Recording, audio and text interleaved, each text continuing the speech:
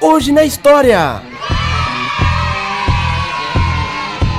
NASA é a sigla em inglês que identifica a Administração Nacional de Aeronáutica e Espaço, a National Aeronautics and Space Administration dos Estados Unidos, que é a agência governamental responsável pelos programas espaciais. O programa espacial soviético lançou o primeiro satélite artificial do mundo, o Sputnik 1, em 4 de outubro de 1957. O Congresso dos Estados Unidos o recebeu como uma ameaça à segurança do então presidente Dwight Eisenhower, o presidente americano, entre 20 de janeiro de 1953 e 20 de janeiro de 1961, e seus conselheiros, depois de vários meses de debate, concordaram em fundar uma nova agência federal que dirigisse toda a atividade espacial não militar. Em 27 de julho de 1958, Eisenhower assinou a ata que fundou a NASA, a qual começou a funcionar em 1 de outubro de 1958, com quatro laboratórios e cerca de 8 mil funcionários. A intenção dos primeiros programas era colocar em órbita uma nave tripulada, e isso se realizou sob a pressão da concorrência entre os Estados Unidos e a União Soviética na chamada corrida espacial que se produziu durante a Guerra Fria.